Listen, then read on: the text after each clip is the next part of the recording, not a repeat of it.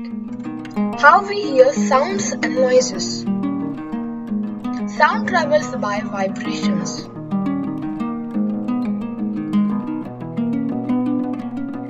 When we speak, we make noise. These vibrations travel through air molecules. When the vibrations collide with the molecules, they move.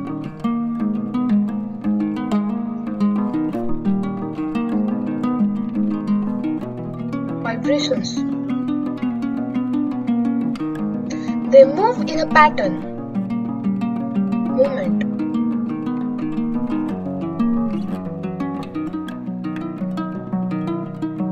These vibrations travel only where there are any molecules like our atmosphere.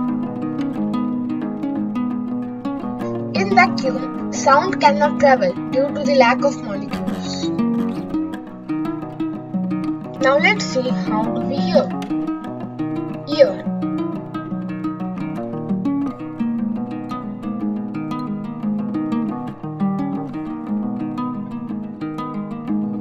When these vibrations enter your ears, they collide with your eardrums.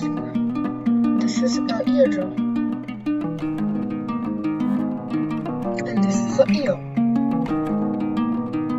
And this is also a eardrum.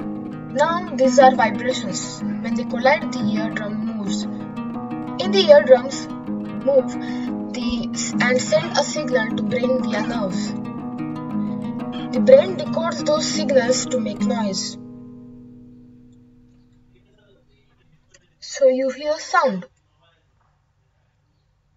By Prathamesh Joshi. Thank you.